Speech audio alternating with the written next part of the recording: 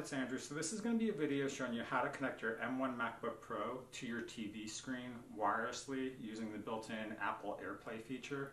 I previously did a video last night that showed you how to connect your uh, MacBook Pro to the TV using an HDMI adapter.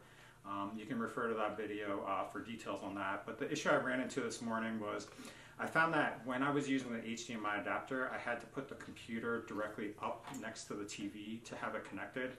And using the built-in wireless features as far as a mouse and a keyboard, it was kind of inconvenient to have it that way because afar, from afar, sitting at like a couch distance, uh, the cursor on the mouse was very small. And so I had a lot of issues navigating the different screens. And so I tried to increase the cursor size and it was inconvenient where um, it would be large on the TV screen or appropriate size on the TV screen, but then when I switched over to the MacBook Pro, um, the cursor size was still large, and so you had to customize it for each, or when you disconnected it, you had to readjust the cursor size, which was a minor inconvenience. Um, you could still use the TV that way, but it was just, it didn't work effectively. Um, so as I was going through that process, I was messing with the display features, and I found that on the MacBook Pro, um, under the display settings, you can directly connect wirelessly to your TV. And so in this video, I wanted to go over how to do that uh, specifically. And so what I'll do first is set up the computer um, and we'll go to the navigate through the different screens and I'll show you how to connect directly um, to your TV for this. Um, for this, all you'll need is your M1 MacBook Pro and then you'll need some sort of TV that's already connected wirelessly. Uh, this is a, a, Roku TV, so it connects uh, through like streaming and everything wirelessly, so that has a built-in capability. But you'll have to check your TV's features to see if you can um, connect uh, directly through the M1 MacBook Pro to your TV. Uh, but that's all you'll need as far as connectivity. Okay, so here's my M1 MacBook Pro. Um, I'm already logged in. Uh, what you'll have to do is navigate up to the Apple icon in the top left and then go down to System Preferences. Uh, and when you go to System Preferences, go to the Display uh, set screen or setting here feature here, um, and that'll get you to the screen. Um, immediately, what you'll see is on the bottom left-hand corner here, it says Apple Play Display or, or AirPlay Display. Um, currently, it's set off. And so once you go here, if you have a wireless TV, um, it should be able to directly recognize the TVs. So this is the one that I have in the bedroom, and then this is a separate, this one in the living room. Um, so what you can do is just click on the, um, the, the TV display for the living room one or the, the one that you want. Um, I'm going to show you real quick what pops up on the screen. And so on the screen here, it'll bring up a five digit or four digit icon um, and you'll have to input that into your uh, computer. And so this is 5513. And so I'll put that in here, 5513. And then it'll automatically log in um, with the actual screen up. And so currently it's set up as a mirror display. And so um, as you can tell, everything's set up there, and you can directly work from the um, MacBook Pro now from a distance um, on the couch or from a further distance to, to work that way. Um, it's set up as a mirror display, so everything that's built it, like on the screen for the M1 MacBook Pro pops up in a mirrored fashion here.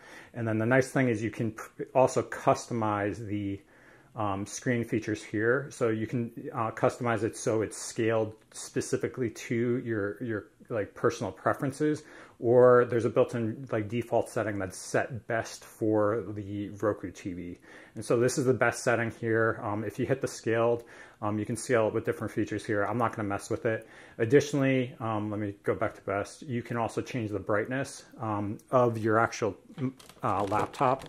And so if you're working from afar here, and you don't want the laptop screen on, you can raise or lower it that way. And so that's a pretty nice feature. Um, additionally, you can, um, let me go back up here so you can see it. Um, you can hit automatic adjust brightness or turn, like you can turn that on or off, and then you can change it to true tone or not. Um, so those are the features on that screen. Um, the other ones are it, you can potentially change the color. I didn't mess with that at all. And then you can do night shift. I have this built in already, so I don't know if this is different from my built-in Retina display. Um, but as far as the Roku TV, these are all the settings that you have there. Um, once you close out of the system preferences menu um, here, um, you'll be good to go. The only other thing I wanted to show you is, we'll show it on the, the actual laptop.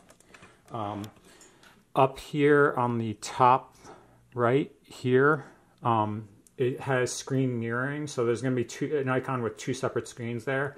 Um, you can go directly here and turn the mirroring screen on and off right here. Um, so you can basically set it up as a, a, mirrored screen like it currently is or use this as a separate screen.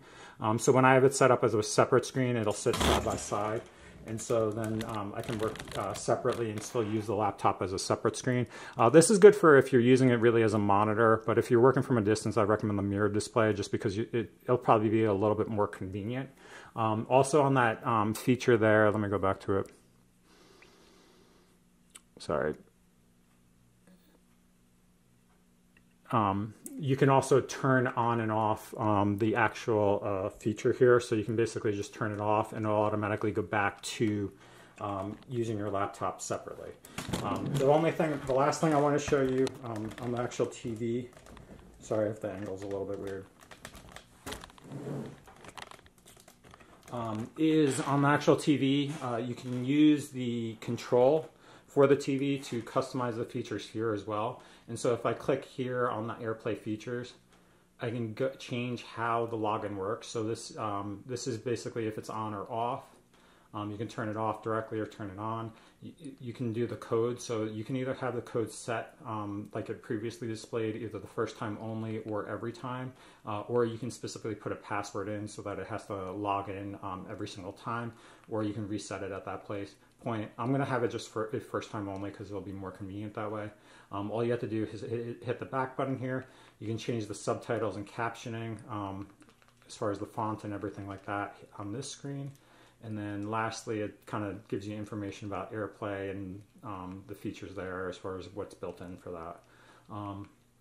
And then it has something for HomeKit. I don't know anything about that yet, so I can't really speak to it. But that's everything really for the Apple AirPlay. I found this just haphazardly when I was looking through the display features. It's really convenient and easy to use. I use it all day for about like eight hours of lectures today.